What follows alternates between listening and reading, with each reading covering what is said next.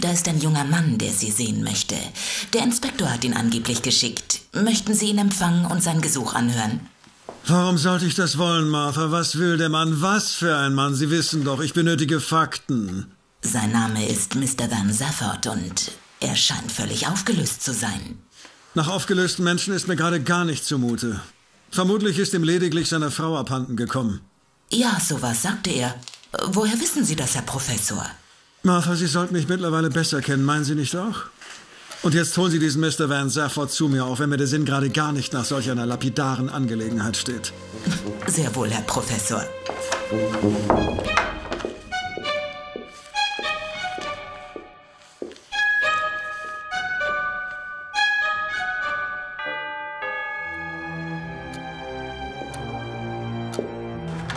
Mr. Van Safford, Professor. Guten Tag, Professor. Guten Tag, Mr. Van Safford. Sie möchten, dass ich Ihre Frau wiederfinde, ist es nicht so? Das ist ja unglaublich. Woher wissen Sie das? Ich muss zugeben, zum einen bekam ich Ihr Hilfegesuch bereits mit, kurz nachdem Martha Ihnen die Haustür öffnete, und zum anderen stehen Sie nun wahrhaftig vor mir, und ich kann mich unmittelbar selbst davon überzeugen. Sie tragen einen Ehering, Sie haben zuvor längere Zeit heftig geweint, und zu guter Letzt gehen Sie davon aus, dass Ihre Frau verschwunden und nicht tot ist. Wäre dies nämlich der Fall, wären Sie nicht hier, sondern hätten den Bestatter oder die Polizei informiert oder vielleicht sogar beide. Sie sind ein Phänomen. Nein, ich bin ein analytisch und logisch denkender Mensch von überragendem Intellekt, Mr. Van Safford. Außerdem bin ich Amateurkriminologe, dem gewisse Dinge ganz im Gegensatz zur schlampigen Arbeit der Polizei schlicht und ergreifend nicht entgehen. Ja, das scheint mir ebenso zu sein. Die schickte mich jedenfalls zu Ihnen. Es war Inspektor Mallory, der Ihnen nicht helfen konnte, nicht wahr? Ist dem nicht so? Ganz genau, Professor. Wenigstens enttäuscht er einen in diesem Punkt nicht. Wie meinen? Schon gut. Also, Mr. Van Safford, erzählen Sie mir doch, was genau Sie zu der Schlussfolgerung bringt, Ihre Frau sei verschwunden. Außerdem möchte ich von Ihnen wissen, ob Sie von einem Entführungsfall ausgehen oder ob Ihr Verschwinden freiwilliger Natur sein könnte. Freiwilliger Natur? Sie meinen. Ja, ich meine. So etwas kommt öfter vor, als man meinen mag. Eine Scheidung ist nicht gern gesehen, ein zäher Prozess. Die Frau flüchtet lieber und verschwindet. Also, ich. Schon gut. Berichten Sie mir zunächst, was vorgefallen ist. Ja, gewiss, Professor. Wissen Sie, ähm, das war so.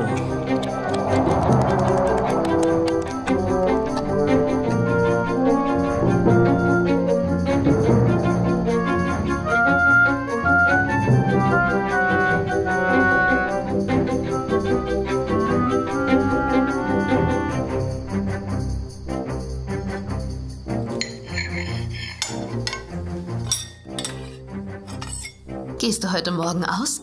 Nein, ich denke nicht. Ich. Äh, Ja, was denn? entschuldige, Liebes. Nein, ich denke nicht, dass ich ausgehen werde. Die Arbeit erledigt sich leider nicht von selbst. Und ich habe noch einiges zu erledigen. Briefe wollen verfasst werden. Wieso fragst du? Aus keinem bestimmten Grund, nur so. Dann begebe ich mich mal in mein Arbeitszimmer, Liebes. Tu das.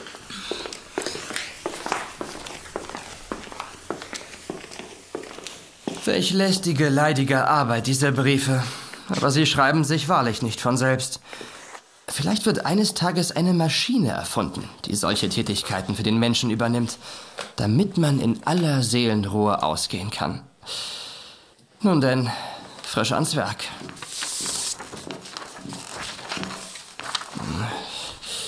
Äh, Oh, du siehst großartig aus. Aber sag, warum hast du dich derartig atemberaubend gekleidet? Wohin gehst du? Aus. Seltsam. Wohin sie wohl gehen mag? Vielleicht gibt mir der Blick auf die Straße etwas mehr Aufschluss. Hm. Sie biegt um die Ecke und fort ist sie.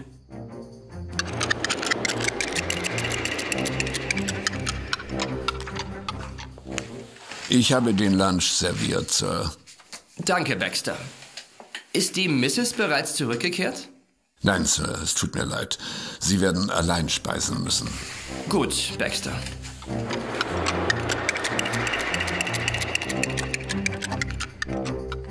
Ich verließ nach dem Lunch das Haus und ging in die Stadt. Es hielt mich nichts mehr in unserem Heim.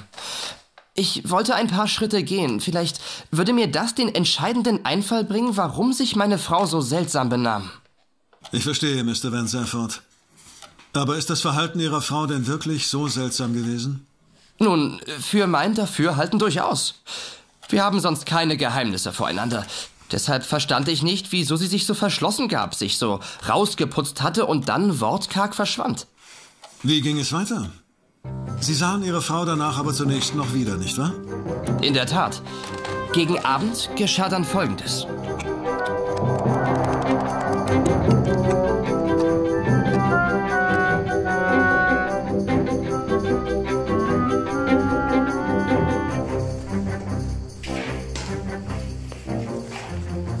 Ist Mrs. Van Safford in der Zwischenzeit zurückgekehrt, Baxter? Ja, Sir. Das ist sie. Vor einer halben Stunde. Sie kleidet sich soeben für das Dinner, Sir. Ach, Schatz, du wirst es nicht glauben. Das könnte sein, ja. Sie können servieren, Baxter. Sehr wohl, Madam. Es war so ein aufregender Tag. Ich habe mich mit Mrs. Blacklock verabredet und wir waren danach beim Shopping. Danach nahmen wir gemeinsam Lunch in der Stadt zu uns. Herrlich. was, was hast du, mein Liebling? Du wirst mich sicherlich für einen Narr halten, aber ich muss gestehen, ich, ich hatte zunächst gedacht, nun, äh, dass du dich mit einem anderen Mann triffst oder ein anderes Komplott gegen mich im Schilde führst. Du hast. Was? Aber wenn ich bitte dich, bist du denn von allen guten Geistern verlassen? Ja, ich weiß, es ist albern. Tut mir leid. Ach, wenn. Nach dem Dinner ging es für mich in den Club. Wir verabschiedeten uns und ich gab ihr einen leidenschaftlichen Kuss. Meine Frau spürte meine Erleichterung und äh, mein Verlangen nach ihr. Dann verließ ich das Haus und sah noch einen melancholischen Blick, der sich auf ihr Gesicht gelegt hatte. Ich dachte mir nichts dabei und ging. Es wurde spät. Ich kehrte erst gegen zwei in der Früh nach Hause und legte mich schlafen. Gegen zehn Uhr morgens verließ ich das Bett, ging gegen kurz nach elf hinab in den Speiseraum, doch dort Guten befand Morgen, sich nur Sir. Baxter. Haben Sie wohl geruht? Ähm, ja, Baxter, danke. Wo ist meine Frau? War sie in der Zwischenzeit hier? In der Tat, Sir. Sie war gegen 8 Uhr bereits auf und nahm Frühstück zu sich. Dann ist sie ausgegangen. Sagte sie etwas? Hinterließ sie eine Nachricht? Nein, Sir. Wird sie zum Lunch zurück sein? Davon sagte sie nichts, Sir. Ich verließ nach einem äußerst hastigen Frühstück ebenfalls das Haus, um Mrs. Blacklock aufzusuchen, die gute Freundin meiner Frau. Mr. Van Safford, ich bin so froh, Sie zu treffen. Können Sie mir sagen, wo sich Ihre Frau befindet? Wie geht es ihr? Ich habe sie seit Wochen nicht mehr gesehen. Seit Wochen nicht mehr? Seit Wochen, ich schwöre es Ihnen, so wahr ich hier vor Ihnen stehe. Ich verstehe es nicht. Was hält Sie denn bloß davon ab, sich mit mir zu verabreden? Also, ich. Ich ging davon aus, dass Sie sich gestern mit ihr zum Shopping verabredet hatten. Himmel, nein! Es ist ungefähr drei Wochen her, seitdem wir uns das letzte Mal gesehen haben. Merkwürdig. Sie erwähnte gestern Ihren Namen. Aber vielleicht habe ich meine Frau auch nur missverstanden und sie wollte sich bei Ihnen melden, um sich mit Ihnen zum Shopping zu verabreden. Es würde mich sehr freuen, wenn sie das täte. Ich werde es ihr ausrichten. Wenn Sie mich bitte entschuldigen würden, Mrs. Blacklock, ich, ich wünsche Ihnen einen schönen Tag. Danke, Mr. Van Safford. Den wünsche ich Ihnen auch. Und ich hoffe, dass Ihre Frau alsbald wieder auftaucht. Bestellen Sie ihr meine besten Grüße. Das werde ich. Guten Tag.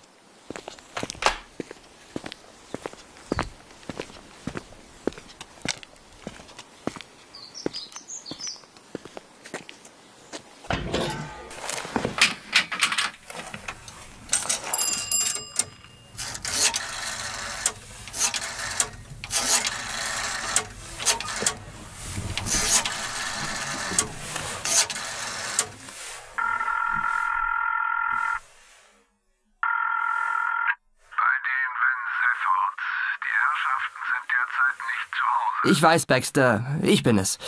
Ist die Dame des Hauses mittlerweile zurückgekehrt? Nein, Sir. Sie ist noch nicht wieder zu Hause. Sie dürfen abräumen, Baxter. Hat es Ihnen gemundet, Sir? Wie es einem halt so schmeckt, wenn sich die Frau in der Stadt herumtreibt und man nicht weiß, wo sie sich aufhält. Ich verstehe, Sir. Ach ja, tun Sie das? Nichts für ungut, Baxter. Wie spät ist es? Es ist jetzt ähm, äh, kurz nach halb acht, Sir. Und ich glaube, dass... Ach du meine Güte, ist es schon so spät? Mein armer, vernachlässigter Mann, es tut mir so leid. Ich. Liebling, Ich habe es einfach nicht früher geschafft. Ich war mit Nell Blakesley unterwegs, in einer motorisierten Kutsche, ein wahres Höllengefährt. Es hatte einen Schaden und dann war natürlich niemand weit und breit zu finden, der uns hätte helfen können. Und ich... Schatz, was ist? Was hast du? wolltest du dich nicht erneut mit Mrs. Blacklock treffen? Nein, ich war doch gestern den ganzen Tag mit ihr beim Shopping. Ich wollte sie nur anrufen. So, so.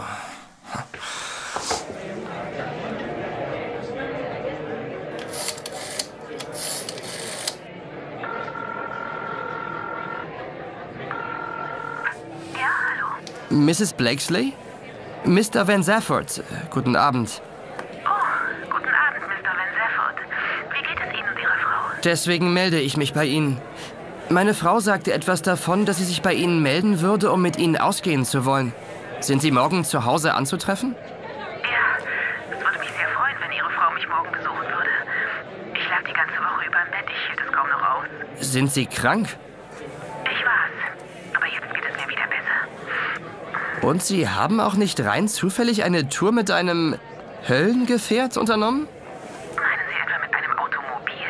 Wo denken Sie hin, Mr. Van Zafford? Natürlich nicht. Ich besitze kein derartiges Gefährt. Und keine zehn Pferde würden mich in eines hineinbringen. Leben Sie wohl. Verdammt. Was wird hier nur für ein Spiel gespielt?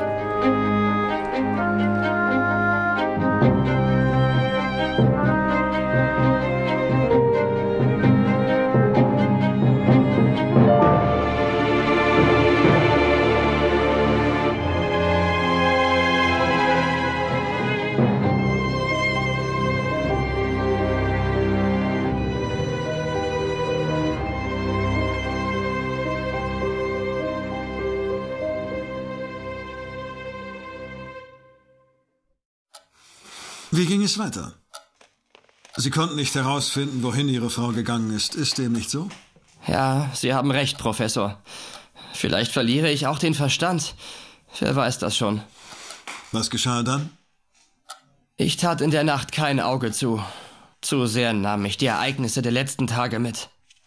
Am nächsten Morgen kam sie in den Speisesaal und ich begrüßte sie nur barsch. Guten Morgen. Sie sagte nichts. Sie aß ihr Frühstück, stand auf und verließ das Haus.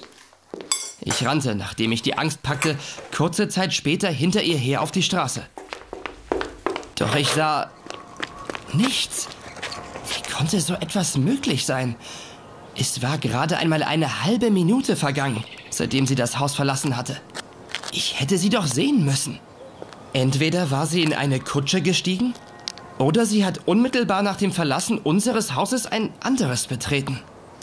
Doch welches? Wen kennt sie in unserer Straße?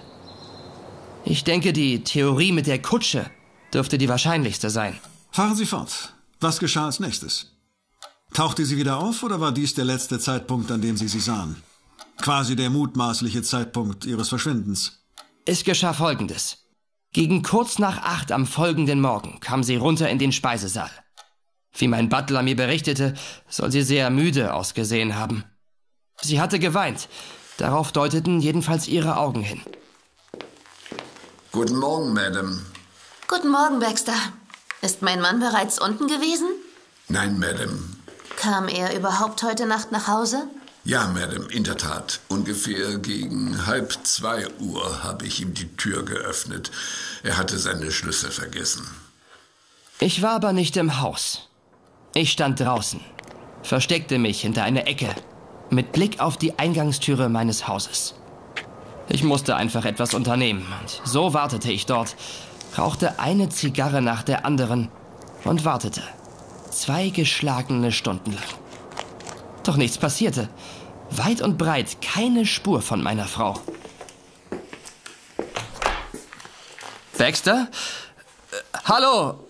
Baxter? Ja, Sir? Ist die Mrs. nach unten gekommen? Ja, in der Tat. Sie hat vor etwa einer Stunde bereits das Haus verlassen.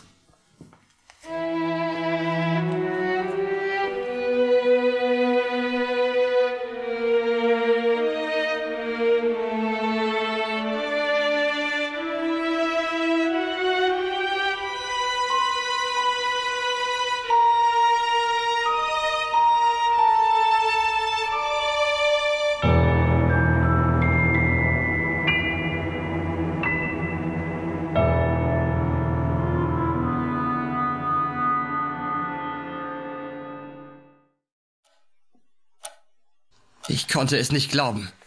In diesem Moment war ich rasend vor Wut. Spielte sie mir Streiche? Wurde ich langsam verrückt? Sie hatte mich zweimal angelogen. Ich hätte sie erwürgen können. Ja, das hätte uns in jedem Fall Zeit gespart und die Sache vereinfacht. Sie glauben also, dass da vielleicht ein anderer. Sagen Sie so etwas nicht, bitte. Derartiges haben Sie auch noch nicht erlebt? Oder gab es bereits zuvor derartige Ereignisse? Nein, noch nie. Spekuliert Ihre Frau an der Börse oder spielt sie? Nicht, dass ich wüsste. Nein. Sie weiß nicht mal, wie man Aktienkurse zu lesen hat. Hat sie ein eigenes Konto?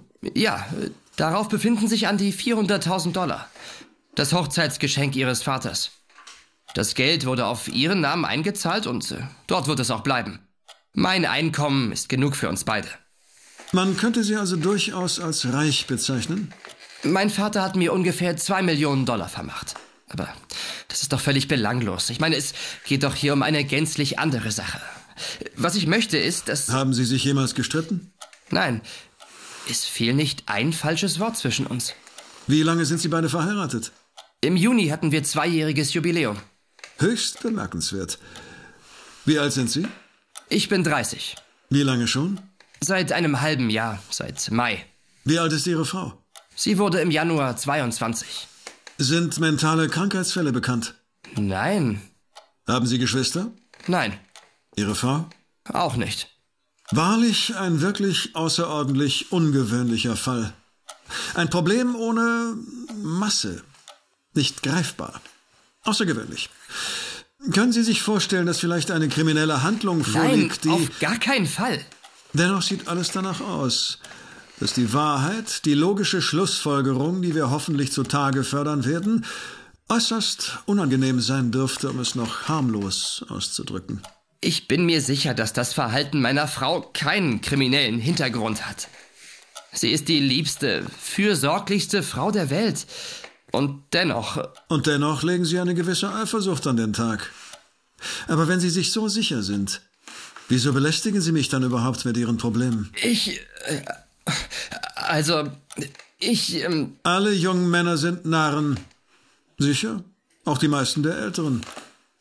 Aber die Frage ist, was veranlasst Ihre Frau dazu, sich derartig seltsam zu verhalten? Warum sagt sie Ihnen die Unwahrheit? Wir werden Sie beschatten lassen müssen, so leid es mir tut. Die Antworten könnten Ihre gemeinsame Zukunft ruinieren. Dennoch frage ich Sie, möchten Sie die Antworten auf Ihre Fragen? Ja, ich muss Gewissheit haben. Ich, ich muss. Sonst treibt es mich noch in den Wahnsinn. Also gut. Gehen Sie jetzt nach Hause und benehmen Sie sich wie immer. Lassen Sie sich unter keinen Umständen etwas anmerken. Haben Sie verstanden? Ihre Frau darf nichts von unserem Vorhaben mitbekommen. Berichten Sie mir bitte umgehend jede Veränderung in Ihrem Verhalten, mag sie Ihnen noch so belanglos erscheinen. Es ist ein einzigartiges Problem, wie mir scheint. Eines, mit dem ich so noch nie zu tun gehabt habe.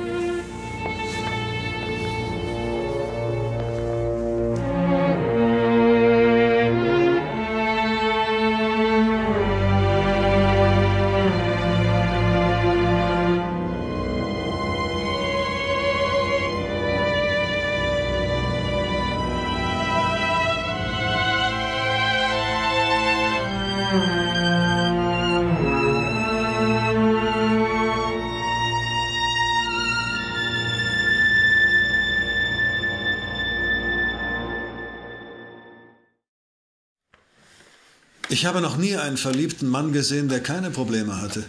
Nun, die meisten Männer sind nicht ganz klar im Kopf, wenn sie den ganzen Tag an eine schöne Frau denken. Kennen Sie Mr. und Mrs. Van Zeffert? Aber selbstverständlich. Das muss ich in meinen Kreisen sogar. Mr. Van Zeffert ist ein reicher Clubgänger, ein paar Millionen schwer. In der Gesellschaft hoch angesehen. Und sie ist eine unglaublich schöne, attraktive Frau. Sie ist eine gebürtige Miss Potter. Ihr Zeitungsleute hat solch ein famoses Erinnerungsvermögen. Kennen Sie sie persönlich? Nein, das nicht. Machen Sie jemanden ausfindig, der Sie sehr gut kennt. Eine beste Freundin zum Beispiel. Eine, der Sie sich anvertraut. Sie verstehen? Bringen Sie in Erfahrung, warum Mrs. Van Zerford das Haus morgens gegen acht verlässt und weshalb sie ihrem Ehegatten etwas vormacht und behauptet, sie sei mit Freundinnen und Bekannten unterwegs gewesen, die sie gar nicht getroffen hat. Dieses Spiel geht nun schon seit vier Tagen so. Ihre Recherchen könnten eine Scheidung verhindern. Das wäre alles, Professor? Nein. Finden Sie auch heraus, was für eine Krankheit es ist, unter der Miss Nell Blakesley leidet oder gelitten hat. Wird erledigt, Professor. Ich, Hutchinson Hedge, Star-Reporter des Daily New Yorker, machte mich umgehend auf, um eine gewisse Miss Gladys Beekman zu treffen. Ich behauptete, im Auftrag Mr. Van Zeffords zu handeln, was nicht unbedingt gelogen war. Daraufhin erzählte ich ihr die ganze Geschichte, so wie sie mir der Professor offenbart hatte. So soll es sich zugetragen haben. Das ist. Das ist ja köstlich. Und es freut mich, dass sie das getan hat. Ich hätte es zwar nicht für möglich gehalten, aber sie hat es getan. Schön, dass ich Miss Beekman so gut unterhalten konnte. Mit einer weiteren Freundin, Miss Frances, war es das gleiche. Sie amüsierte sich großartig und ließ mich rätselnd zurück. Ich kontaktierte sage und schreibe sechs weitere von Mrs. Van Zeffords Freundinnen. Sie alle lachten. Lachten sie mich aus? Anscheinend erzählte ich ihnen einen großartigen Witz. Auf meine Kosten?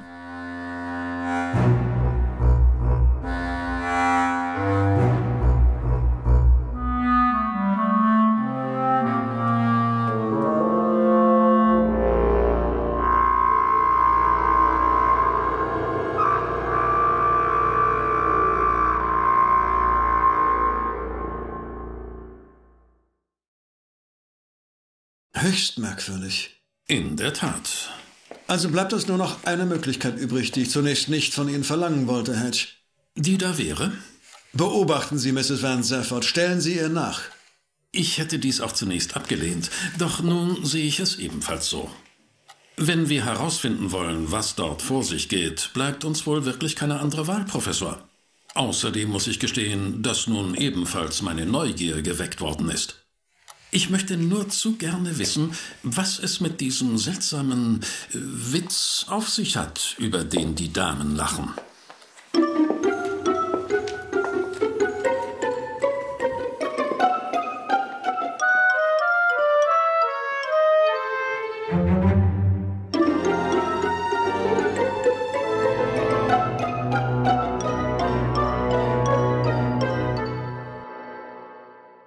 Am nächsten Abend rief ich Professor van Dusen gegen 22 Uhr an und berichtete ihm von meinen Erfolgen des Tages. Hedge, was haben Sie für mich? Ihnen auch einen guten Abend, Professor. Gibt es Neuigkeiten? Nun ja, wie soll ich sagen? Spannen Sie mich nicht länger auf die Folter, Hedge. Ich habe Mrs. Van Zeffert den ganzen Tag über verfolgt und observiert. Heraus damit, was tat sie? Nun, sie verließ das Haus gegen acht und ich war ihr bis zwanzig nach neun abends auf den Fersen. Weiter. Sie bog um die erstbeste Ecke, lief einen Block weiter und von dort ließ sie sich dann in die Bücherei fahren. Dort las sie Henry James bis kurz vor 13 Uhr. Danach ging sie zum Lunch und ich tat es ihr gleich. Das klingt völlig gewöhnlich. In der Tat. Von dort fuhr Mrs. Van Zeffert ins North End und flanierte eher ziellos am Nachmittag umher. Um 15.10 Uhr gab sie einem verkrüppelten Jungen einen Vierteldollar. Er biss hinein, um zu prüfen, ob er echt ist, und rannte daraufhin los, um sich dafür Zigaretten zu kaufen. Kurz nach 15.30 Uhr begab sie sich in ein großes Kaufhaus und probierte dort so ziemlich alles an, was ihr unter die Augen kam. Lediglich ein paar Schnürsenkel. Schnürsenkel? Wie interessant. Um 18 Uhr schloss das Kaufhaus und sie ging zum Abendessen. Auch diesmal tat ich es ihr gleich. Danach fuhr sie zurück zur Bibliothek, las dort bis 21 Uhr und sie machte sich wieder auf den Weg nach Hause. Das war es. Puh. Tut mir leid, Professor, aber Sie tat nun mal das, was sie tat. Ich habe Ihnen den Tagesablauf so wiedergegeben, wie er sich zutrug. Ungeschönt. Alles reine Fakten. Sie traf niemanden, sie sprach mit niemandem? Nur mit Verkäufern, Angestellten, Bediensteten. Sie bekam von niemandem eine Nachricht zugesteckt? Nein, Hat irgendetwas, was sie tat, einen tieferen Sinn ergeben? nein. Sie vermittelte mir lediglich den Eindruck, dass sie Zeit totschlagen wollte.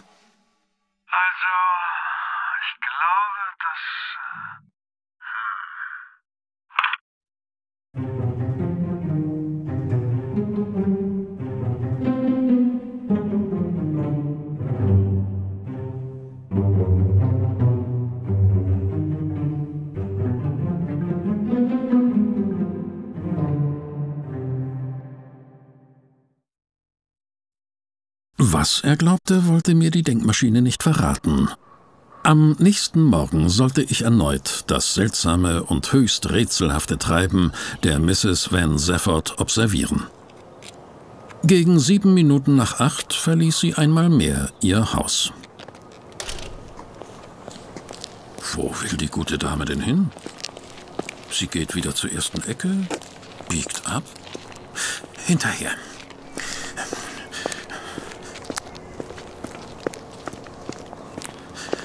Da vorne ist sie. Sie schaut sich um, ob ihr auch niemand folgt. Und geht in eine Seitengasse. Mal sehen, wohin mich die Reise führt.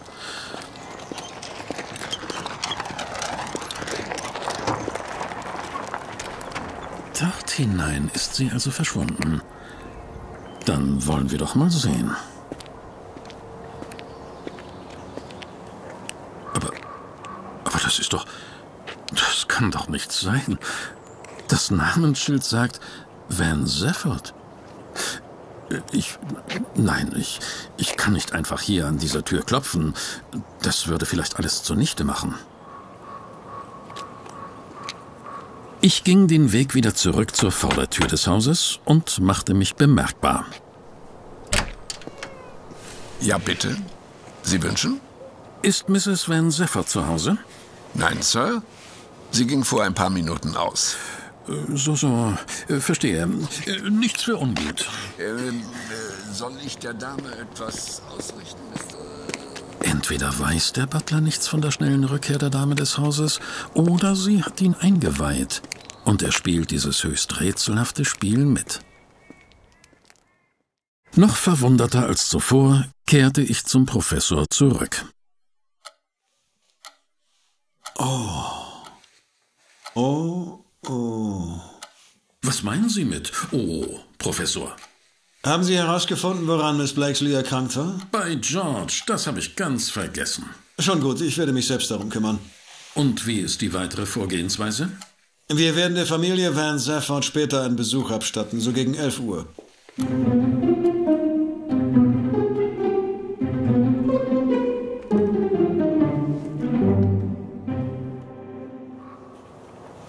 Was wir dann auch taten.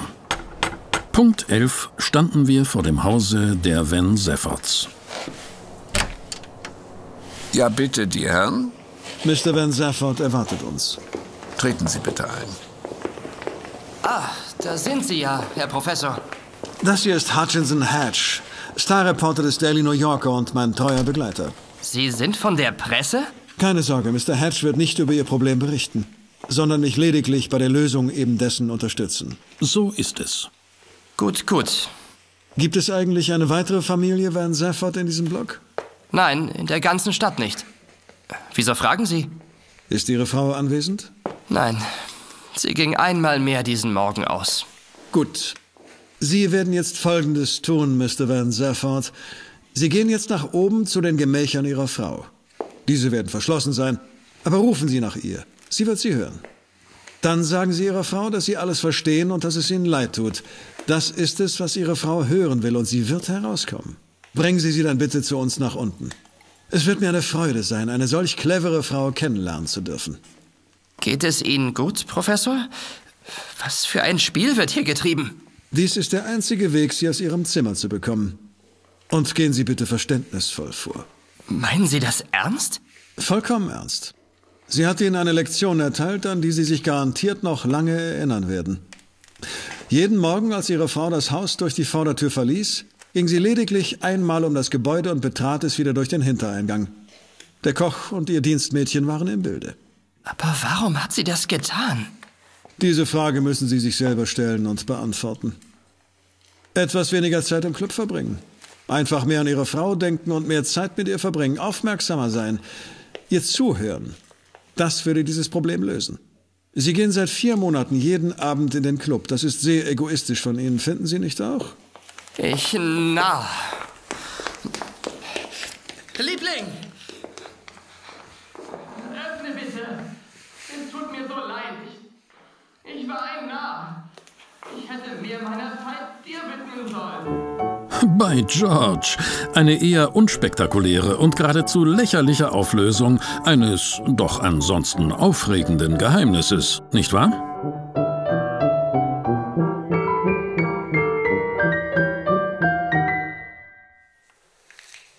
Es war eine große Dummheit meines Mannes, Sie, meine Herren, in diese Angelegenheit mit hineinzuziehen. Gleichzeitig ist es mir doch auch selbst ein wenig peinlich. Machen Sie sich keine Sorgen, Mrs. Van Zerford. Diese ganze Angelegenheit wird für Sie keine Konsequenzen nach sich ziehen. Es gab mir die Möglichkeit, die weiblichen Gedankengänge zu studieren. Dies war nicht unbedingt sonderlich logisch, aber doch sehr lehrreich. Interessant war es ebenfalls.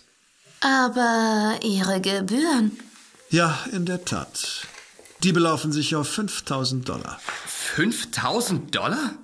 Ja, 5000 Dollar. Aber das ist doch völlig absurd für eine derartige Lappalie überhaupt nur einen einzigen. Van, mein Liebling, denkst du etwa, dass ich es dir nicht wert bin? Doch, aber natürlich. Selbstverständlich. Baxter, mein Scheckbuch. Sehr wohl, Sir. Hier ist es. Bitte. Stellen Sie die Summe bitte auf eine wohltätige, gemeinnützige Einrichtung aus. Wie Sie wünschen. Bitte, 5000 Dollar. Das wird Ihrem Mann sicherlich eine Lehre sein, Mrs. Van Zefford. Danke. Leben Sie wohl. Sie auch, Professor. Mr. Hatch? Madam, leben Sie wohl.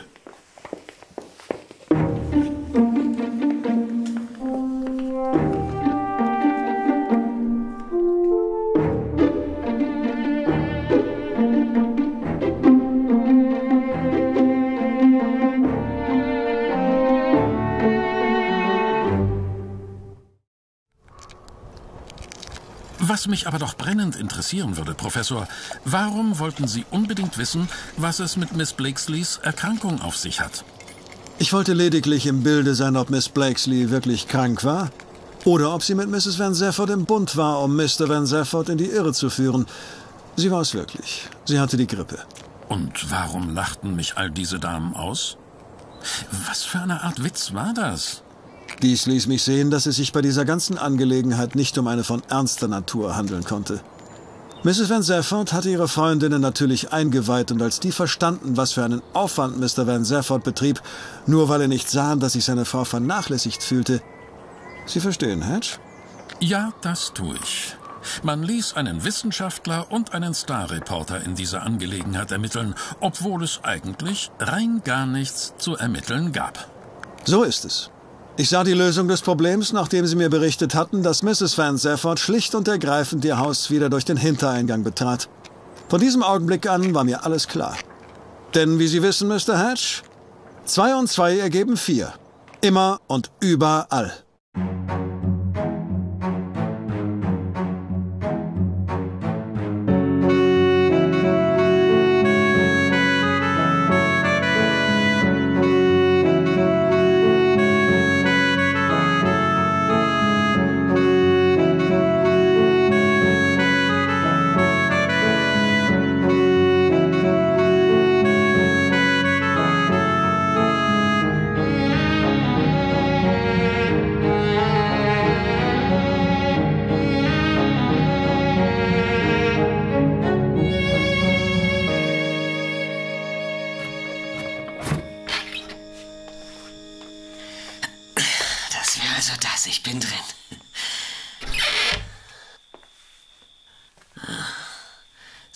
Leichter, als ich gedacht habe.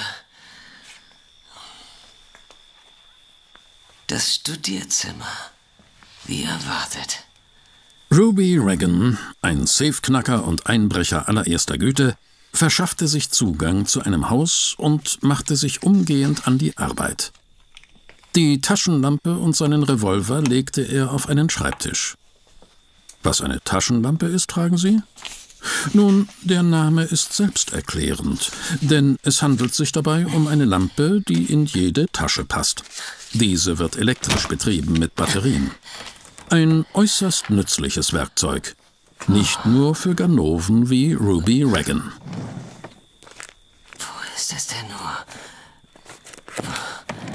Hm. Papiere, Akten, eine kleine Metallbox. Nein, nein, die Papiere sind uninteressant. Aber vielleicht finde ich ja, was ich suche in dieser kleinen Box. Geld. Weitere Zettel und Papiere. Nein, nein, es ist nicht da. Hm. Nehme ich halt, was ich kriegen kann. Keine Bewegung. Und versuchen Sie nicht, Ihren Revolver zu greifen. Sonst werde ich schießen müssen. Aber ich. Der Einbrecher drehte sich um und erblickte die Gestalt einer Frau? Er war sich nicht sicher. Schwebte sie etwa? Sie war gänzlich in weiße, wehende Gewänder gekleidet und hielt eine Pistole auf ihn gerichtet. Bleiben Sie so und halten Sie still. Geben Sie keinen Laut von sich. Ja, Ma'am. Die Bewegungen der Gestalt waren äußerst grazil. Und erneut hatte es für Ruby Regan den Anschein, als würde sie durch den Raum schweben. Das diffuse Licht der Taschenlampe verstärkte diesen Eindruck. Die Geisterfrau nahm seinen Revolver vom Schreibtisch. Sie sind Mr. Regan, nicht wahr? Ja, der bin ich. Woher? Haben Sie es gefunden? Nein, Ma'am. Sie werden das Geld, das Sie sich in die Taschen gesteckt haben, nun wieder in das Kästchen legen. Äh, ja, Ma'am. Natürlich. Das waren nur acht Scheine. Sie entnahmen aber neun. Äh, das stimmt, Ma'am. Tut mir leid. Gut. Und jetzt werden Sie dieses Haus verlassen und keiner Sterbensseele auch nur ein Wort von dem berichten, was Sie heute hier erlebt haben. Haben Sie das verstanden? Ja. Ja, natürlich. Ich. Ich.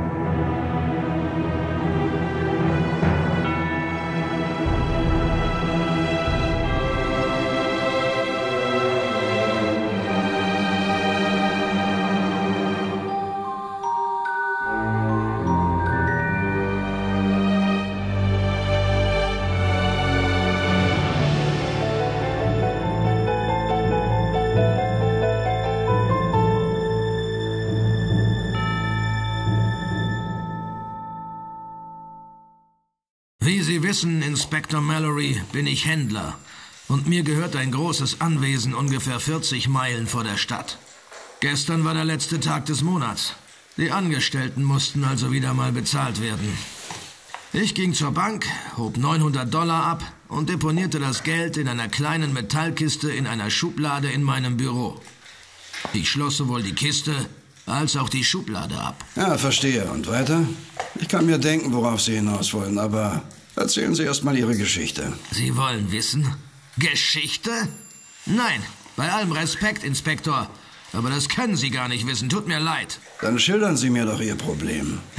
Das würde ich ja, wenn Sie mich nicht dauernd unterbrechen würden. Bitte fahren Sie fort. Also, ich ging gegen 23 Uhr ins Bett und gegen 2 Uhr in der Früh hörte ich den Schuss einer Pistole aus meinem Arbeitszimmer. Ich sprang auf, rannte durch die Eingangshalle und in mein Büro. Auf dem Weg dorthin traf ich einen meiner Bediensteten, O'Brien. Die Tür zu meinem Arbeitszimmer war verriegelt. Wir mussten sie einrammen. Dahinter hörten wir splitterndes Glas. Ein Einbrecher? Allem Anschein nach, ja. O'Brien machte Licht und wir sahen, dass eines der beiden Fenster eingeschlagen war, als wäre jemand hindurchgesprungen oder gestürzt. Mein Schreibtisch war aufgebrochen. Papiere lagen überall verstreut. Ich hob das kleine Kästchen auf und fand ein Einschussloch darin vor. Die Kugel schien oben eingedrungen und zur Seite wieder ausgetreten zu sein. Ich sah, dass sie in der Tischplatte steckte. Kaliber 22. Hier ist sie. Lassen Sie mal sehen. Dann entdeckte ich das erste Rätsel. Rätsel? Ja, jedenfalls kam es mir so vor. Ich öffnete die Kiste, um zu sehen, ob sich noch alles darin befand. Doch statt der ursprünglichen 900 Dollar fand ich sogar noch mehr Geld darin vor. Wie viel mehr? Jemand hatte 10 Dollar dazugelegt. Viel mehr war es also nicht. Nein, dennoch fand ich es höchst seltsam. O'Brien fand in der Nähe der Tür einen schwarzen Hut. Außerdem einen vollständig geladenen Revolver, Kaliber 38. Dazu noch einen Mantel, eine Taschenlampe, die anscheinend bei einem Sturz auf den Boden fiel und beschädigt wurde. Dazu noch eine vollständige Diebesausrüstung. Seltsam. Ein Dieb, der Ihnen was bringt, statt etwas mitzunehmen. Das ist mir auch aufgefallen. Ja, jedenfalls baute ich das Weibsvolk erst mal wieder auf. Die waren ja völlig aus dem Häuschen, sage ich Ihnen. Danach ging ich wieder ins Bett. Naja, Jedenfalls scheint nichts gestohlen worden zu sein, soweit ich das feststellen konnte. Na, was wollen Sie dann von mir? Bis auf die zerbrochene Scheibe wüsste ich nicht, was ich für Sie... Sie doch erst einmal ab, Inspektor. Mit dem Fenster haben Sie jedenfalls recht. Aber da war noch mehr. Ich stellte O'Brien als Wache auf und ging, wie gesagt, zu Bett. Gegen halb drei war ich aber bereits wieder wach. Der gellende Schrei einer Frau riss mich aus dem Schlaf. Wessen Schrei? Keine Ahnung. Ich rannte einmal mehr in mein Arbeitszimmer. Es war beleuchtet und von O'Brien fehlte jede Spur. Ich dachte mir, dass er sehen wollte, woher der Schrei kam. Er schaute nach und seitdem ist er verschwunden. Spurlos verschwunden. Niemand hat seit dieser Nacht mehr etwas von ihm gehört. Vielleicht hat ihn die Geisterfrau oder eine andere dämonische Erscheinung geholt.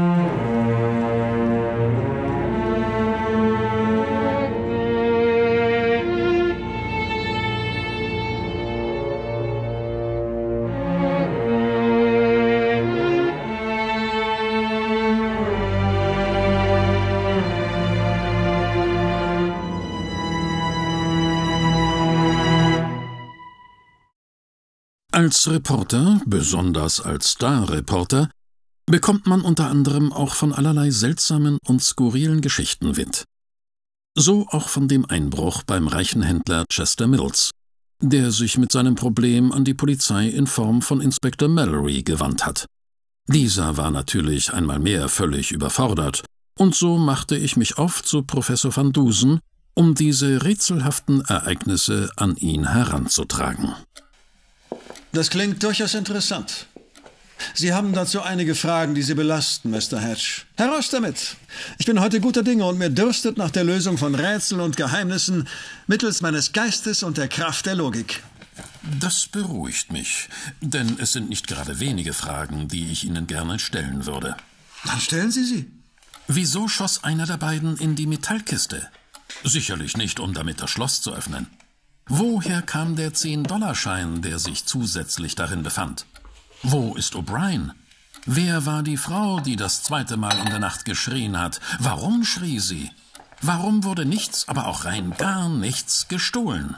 Es verwundert mich keineswegs, dass Sie die eine, ja die wichtigste Frage nicht gestellt haben.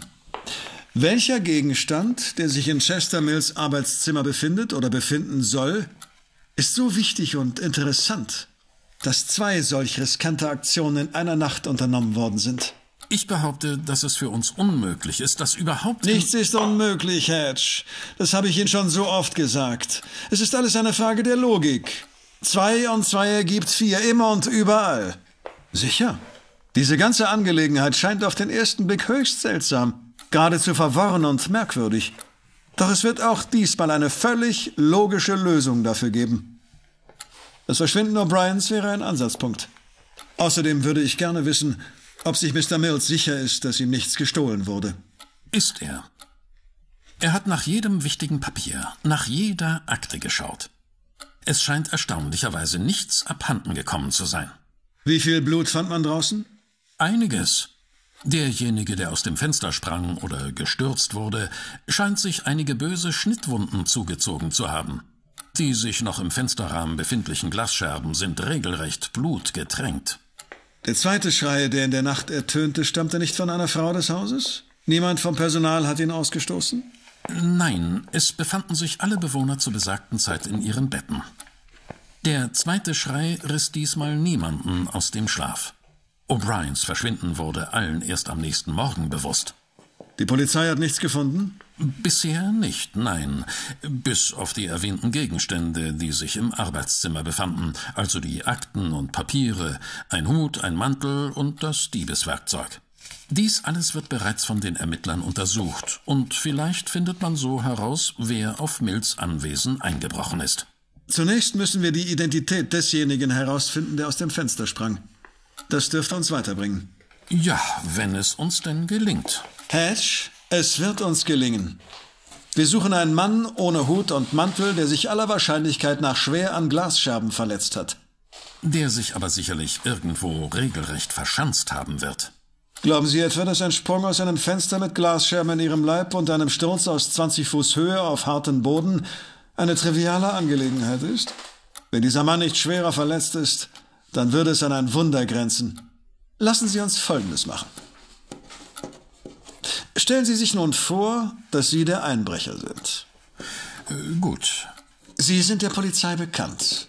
Sie sprangen aus dem Fenster, haben sich durchaus schwerwiegende verletzt. Nun benötigen Sie ärztliche Hilfe, doch Sie dürfen kein Aufsehen erregen. Ihnen fehlen Mantel und Hut. Sie gehen zu einem Arzt, zu einem, der sich etwas außerhalb befindet, und erzählen ihm Ihre Story. Welche da wäre? Was würden Sie dem Doktor erzählen, damit zum einen kein Verdacht erregt wird und Sie sich zum anderen auch sicher fühlen, jedenfalls für den Moment? Nun, also, ich würde. Ich würde ihm erzählen, dass ich aus einer dieser neuen motorisierten Kutschen gestoßen wurde, dabei durch die Scheibe ging, mich böse schnitt, mein Hut ging ebenfalls verloren, und als ich auf die Straße stürzte, zog ich mir weitere Verletzungen zu. Lesen Sie, was auf dem Zettel steht. Sturz aus einem Automobil, Schnitte an der Scheibe zugezogen, Hut ging verloren, weitere Verletzungen durch Sturz auf die Straße. Unglaublich. Begeben Sie sich umgehend zu Mr. Mills und fragen Sie ihn, ob er mittlerweile in Erfahrung bringen konnte, ob nicht vielleicht doch etwas aus seinem Arbeitszimmer entwendet wurde. Vermutlich ein Papier. Finden Sie heraus, ohne Mr. Mills darauf anzusprechen, ob er in eine rechtliche Streitigkeit involviert ist. Etwas derartiges findet gerade statt, oder es wird in den nächsten Tagen der Fall sein. Am Abend treffen wir uns wieder. Werden Sie mich begleiten? Nein. Ich werde mich jetzt zu dem Mann begeben, der aus dem Fenster sprang.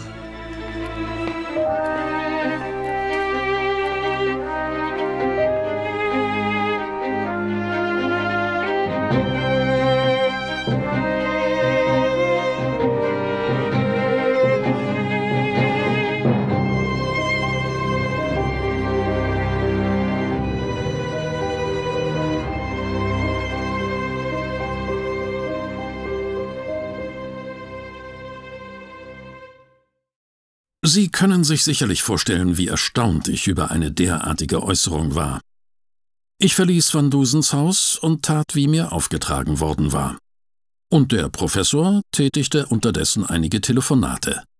Diese führte er mit diversen Ärzten der Stadt, die dafür in Frage kamen, ein Unfallopfer möglicherweise bei sich aufzunehmen. Dr.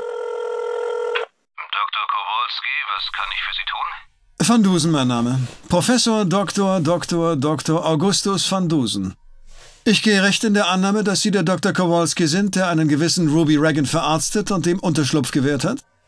Nein, legen Sie nicht auf, es ist besser für Sie. Sie werden mir jetzt gut zuhören, wenn Ihnen etwas an Ihrer Karriere liegt. Wenn Sie sich kooperativ zeigen, dürfen Sie auch in Zukunft zwielichtige Patienten behandeln. Nun gut, was wollen Sie? Und ja, Sie haben recht. Ich habe Ruby Reagan verarztet, nachdem er sich schwer verletzt nachts Zutritt zu meiner Praxis verschafft hatte und ich ihn morgens in einem meiner Räume vorfand. Gut. Bleiben Sie bitte, wo Sie sind und sorgen Sie dafür, dass Reagan das Haus nicht verlässt. Haben Sie mich verstanden? Sonst sehe ich mich gezwungen, die Polizei einzuschalten. Ja, ich habe verstanden. Ich werde Sie nun aufsuchen. Wir sehen uns in nicht ganz einer Stunde.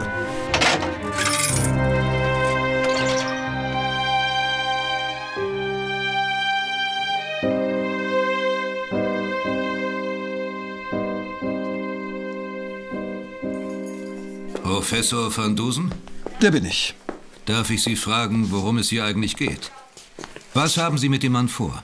Ich glaube kaum, dass Sie das etwas angeht. Befindet er sich noch in Ihren Räumen? Ja, er liegt nebenan. Kommen Sie bitte mit.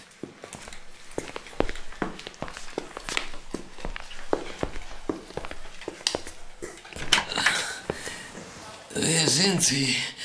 Was wollen Sie? Hauen Sie ab. Sie werden mich niemals kriegen. Die Polizei wird mich nicht schnappen. Mr. Reagan, beruhigen Sie sich. Der Mann ist nicht von der Polizei. Er ist ein Professor. Ich bin Professor SFX Augustus van Dusen, Amateurkriminologe. Ich sagte, dass mich die Polizei nicht. Mr. Reagan! Er ist ohnmächtig. Er wird es überleben. Sie werden jetzt dafür sorgen, dass der Mann zu mir gebracht wird. Die Kosten für den Transport übernehmen Sie. Im Gegenzug werde ich der Polizei nichts davon verraten, dass Sie einen regen, illegalen Medikamentenhandel betreiben. Aber woher wissen Sie denn, dass Wie ich... gesagt, wenn Ihnen etwas an Ihrem zwielichtigen Dasein als Arzt liegt, so sollten Sie kooperieren. Guten Abend, Dr. Kowalski.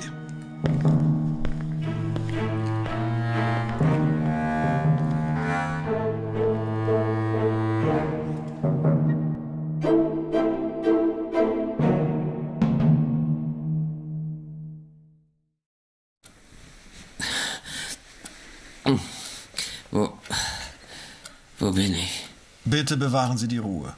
Sie sind in Sicherheit. Und in ein paar Tagen werden Sie wieder so gut wie gesund sein. Wer sind Sie? Ich bin im Auftrag des Mannes unterwegs, der Sie damit beauftragt hat, ein wichtiges Dokument aus Mr. Mills Arbeitszimmer zu entwenden. Sie befinden sich in meinem Haus. Ein Arzt hat sich um Sie gekümmert. Ich habe ihm die Geschichte eines Autounfalls glaubwürdig erzählt und er schöpft keinen Verdacht. Die Cops wissen von nichts? Nein. Gut. Wer hat auf Sie geschossen? Eine. Eine Geisterfrau. Vermutlich wollte sie das nicht mal. Sie war genauso darauf bedacht, keinen Laut von sich zu geben wie ich.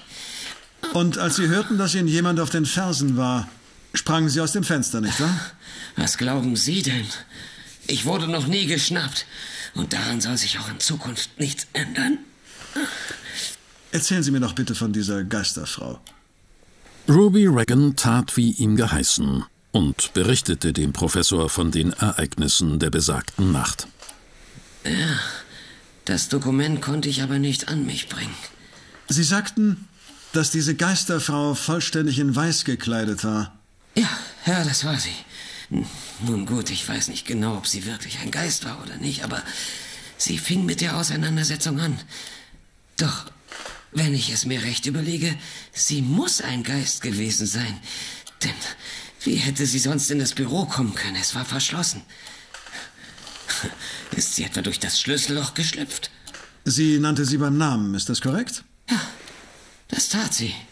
Auch dies lässt mich vermuten, dass es sich bei dieser Gestalt um eine Geisterfrau handeln musste. Woher hätte sie sonst meinen Namen wissen können? Außerdem fragte sie mich, ob ich es dabei habe.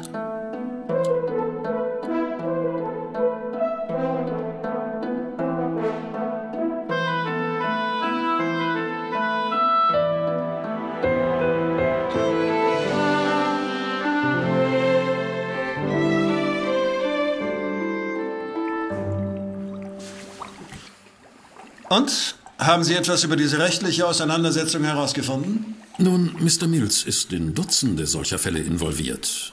Aber einer erwies sich als besonders interessant. Es geht um Eigentumsrechte, nicht wahr? In der Tat. Es geht um ein beträchtliches Vermögen und eine Menge Land und Immobilien. Einer der Geschäftspartner Mills, ein gewisser Martin Pendexter, starb vor ungefähr drei oder vier Jahren. Und dessen Enkel, er ist mittlerweile 22 Jahre jung, klagt gegen Mills. Auf Schadenersatz in Form von Geld und Grundbesitz.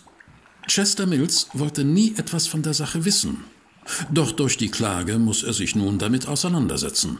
Das Verfahren wurde mehrfach verschoben und nun steht die Anhörung an. Also wird Mr. Mills als Eigentümer geführt, richtig? Erstens das und zweitens ist er sich seiner Sache wohl sicher, sonst hätte er es nicht zu einer Gerichtsverhandlung kommen lassen. Ich gehe davon aus, dass Mills eine Art Kaufvertrag oder eine Überschreibung des Grundstücks zutage fördern wird und diese dann im Gericht präsentiert. Er hat Pendexters Enkel mehrfach ermahnt, nicht zu klagen, ohne aber einen Grund zu nennen. Ah, ich verstehe. Dann wird diese Geisterfrau wohl eine. Noch etwas.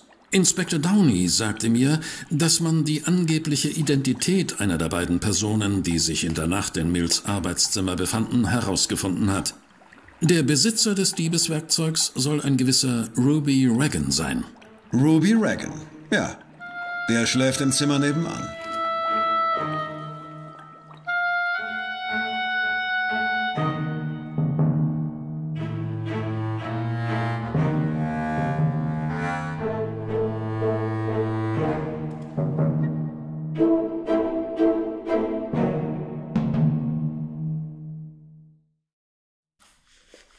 Eigentlich gibt es gar kein Rätsel. Es war lediglich Folgendes passiert. Ein Dieb wurde engagiert, und zwar von dem Mann, der gegen sie klagt, Mr. Mills. Der Einbrecher sollte sich in ihr Arbeitszimmer begeben und dort ein Dokument entwenden, das ihren Erwerb des Pendexter-Anwesens belegt. Und weiter? Er fand nichts vor.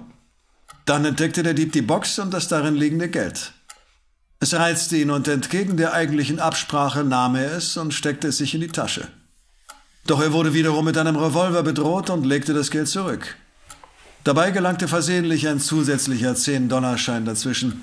Die Person, die den Dieb dazu zwang, das Geld zurückzulegen, war. Hier, bitte. Was? Ja, aber das ist doch. Keine Namen noch nicht. Es war jedenfalls eine Frau.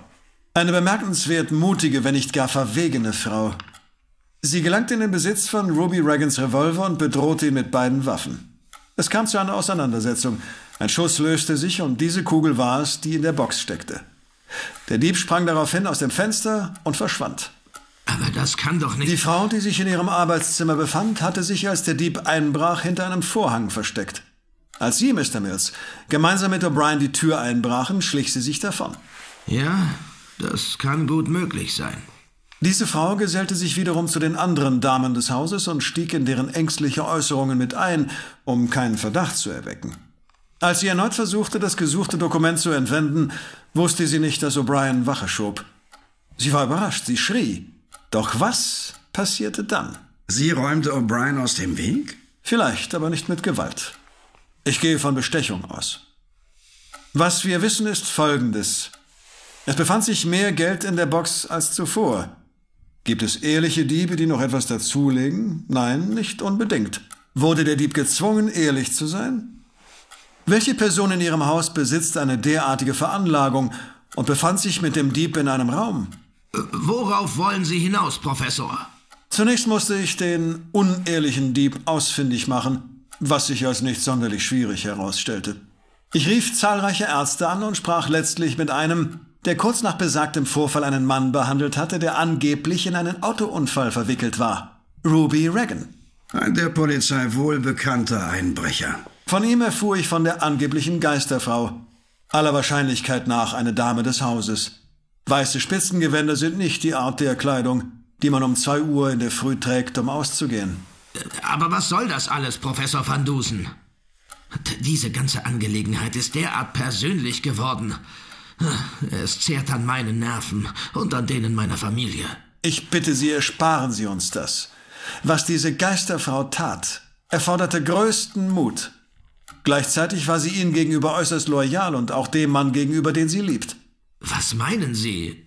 Diese Frau wollte sie schützen, Mr. Mills, und gleichzeitig den Namen ihres Geliebten, und zwar vor Ihnen. Deshalb begab sich diese Frau höchstpersönlich in ihr Arbeitszimmer und wollte das gesuchte Dokument entwenden. Dann kam es zum Aufeinandertreffen der beiden.